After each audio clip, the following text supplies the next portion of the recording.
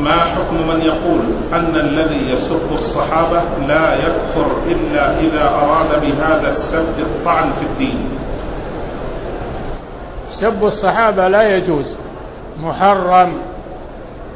قال صلى الله عليه وسلم لا تصبوا أصحابي فوالذي نفسي بيده لو أنفق أحدكم مثل أحد ذهبا ما بلغ مد أحدهم ولا نصيبه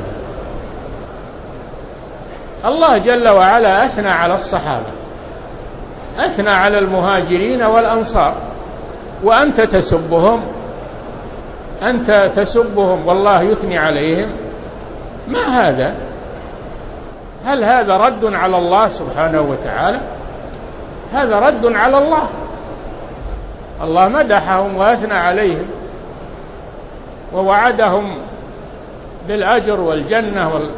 وأنت تسبهم. ما يسب الصحابة رجل في قلبه إيمان؟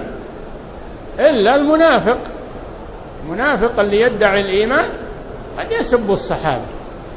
أما المؤمن الصادق فلا يمكن أن يسب الصحابة. والله يمدحهم بل يحبهم.